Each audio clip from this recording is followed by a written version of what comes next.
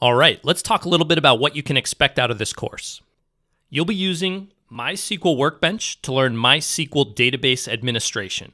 Throughout your career, you may encounter other flavors of SQL like T-SQL, PL/SQL, Postgres, etc.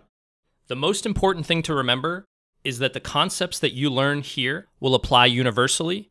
The different flavors are built on the same universal standard, so they're more similar than they are different. They have minor syntax differences, and the tools that you'll use in other languages will be slightly different, but you'll be doing the same things. So everything you learn here, you can bring with you wherever else you go.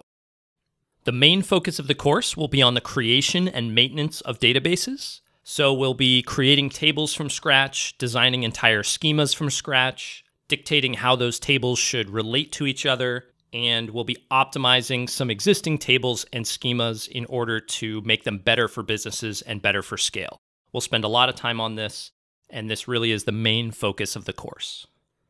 The course is targeted for SQL beginners or data analysts who already know how to query SQL but would like to pick up some DBA skills. This course starts with the absolute basics. So if you're already an expert DBA, this course is not going to be appropriate for you. You're going to be pretty bored.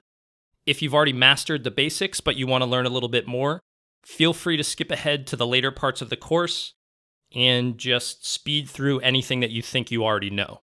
We should also talk about what we're not going to cover in this course, which is mainly SQL for data analysis. We've got two other courses a SQL for data analysis beginner course, and then an advanced SQL for analytics and business intelligence course.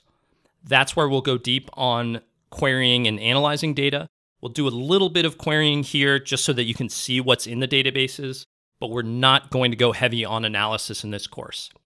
Again, this course will focus primarily on database administration activities, creating and maintaining databases, and not on querying for analysis purposes. It's going to be a really fun course. Let's get into it.